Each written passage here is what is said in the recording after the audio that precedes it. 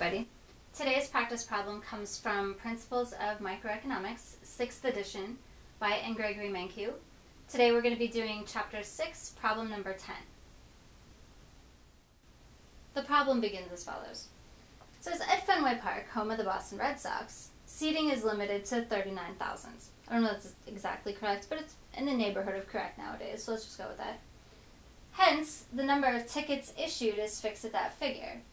Seeing a golden opportunity to raise revenue, the City of Boston levies a per ticket tax of $5 to be paid by the ticket buyer. So we specifically have a tax on the consumer, where the consumer is writing a check to the government. It says Boston sports fans, a famously civic minded lot, don't think that's entirely true, dutifully send in the $5 per ticket it says draw a well-labeled graph showing the impact of the tax, and then asks about where the tax burden falls on the owners, the fans, or both. So we want to understand this. And basically the point that this problem is trying to make is where the tax burden falls when we have supply that's what's known as perfectly inelastic. Because if we were to draw a, a supply and demand diagram, we'd start just like we usually do. Quantity on the horizontal axis, price on the vertical axis. But then we don't just draw our normal upward sloping supply curve and downward sloping demand curve. Because at least over the course of a season, having a higher ticket price doesn't make more tickets actually appear, right?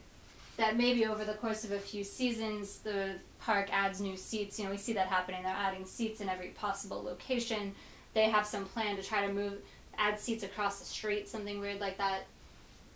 But within the short term, we have supply that is fixed, that's unresponsive to price. So what we were to see if we were to draw a supply curve is that the supply curve basically looks like this. And we say that this is just fixed basically at 39,000. But we do have a downward sloping demand curve because lower prices do make more people willing and able to go see the Red Sox. So if we were to put a demand curve on, maybe it looks something like this. And from what I can tell, it's currently baseball playoffs. So from what I can tell, this true equilibrium price, if there were an equilibrium where there weren't secondary markets, would be about a bazillion dollars. But let's just pretend that we have some sort of equilibrium price that's actually being charged. And we're told that there's going to be a $5 tax placed specifically on consumers.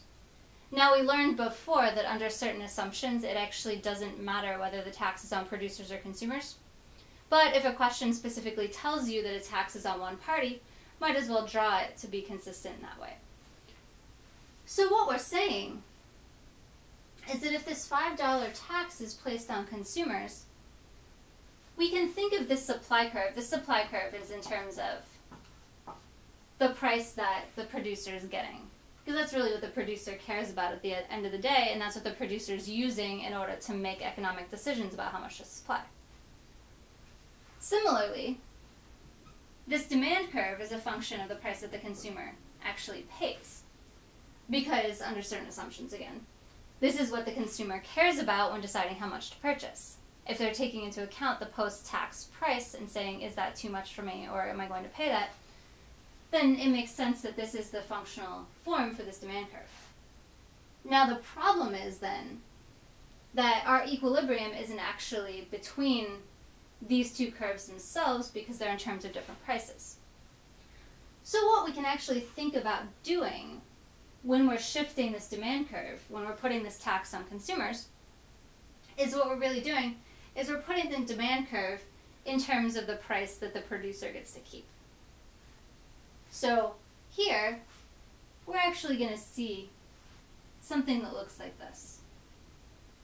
And graphically what we're doing is we're shifting the demand curve down vertically. So now we're talking about a vertical shift. We're specifically not talking about a horizontal shift like we usually do. That we're shifting this curve down by the amount of the tax, which is $5. And the reason for that is now we're saying that we have this called d prime. There's a function of the price that the producer gets to keep. And the reason we can say that is the following. Like let's just take these two points here and say at this quantity this original price was, say, $100. Okay? So if the consumer was paying $100 for a ticket, or willing to pay $100 for a ticket, what that actually means is that they're willing to pay the producer $95 for that ticket. Because that other $5 is going to the government. So what this is saying is, well, if the consumer is willing to pay $100 inclusive of the tax, that they're willing to pay that minus $5 specifically to the producer. And that's actually why we get this shift down by the amount of the tax. And we would do that for every quantity and we would just get this parallel shift. So now we actually have two curves that are in terms of the same price. And we can say that the equilibrium is where the quantity supplied equals quantity demanded at that price. So our equilibrium quantity is actually here. And we can pull this over and we can say, well, which price is this? Well, since both of these curves were in terms of the price to the producer, that this price is actually the price that the producer gets to keep net of the tax. And we're also interested in what price the consumer pays inclusive of the tax. Well, it's just going to be this plus $5, which is the amount of the tax. So we could look here and just go up by 5. Say, oh, hey look, when we go up by 5, since the vertical distance between these two curves is always $5, we actually hit this point here. I could label this, two, this point here in one of two ways. I could label it as the price to the consumer or the demand price once the tax is in place. Or, you'll notice I could label it as the original P star before the tax was put in place. Because the original P star was just at the intersection of this original demand curve and the original supply curve. So this is what we have our situation looking like. Let's think about the questions we were asked. It says, on whom does the tax burden fall?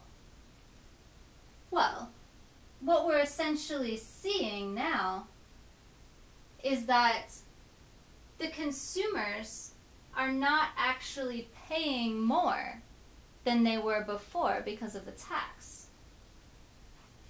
That their price, inclusive of the tax, is the same as the price before the tax. And the price to the producer is just $5 less.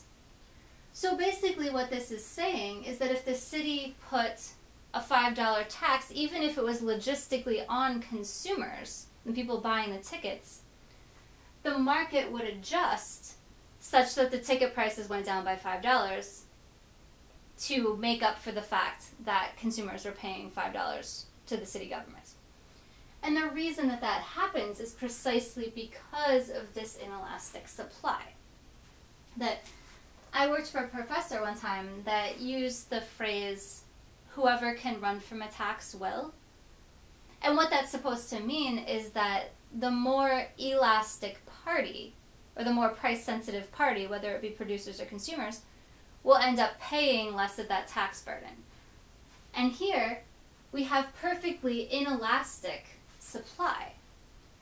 So when we have perfectly inelastic supply, these guys are never going to run from the tax. So or they can't run from the tax. So they're going to actually end up paying all the tax, or put another way, eating all of the tax, or in more precise terms, bearing all of the tax burden.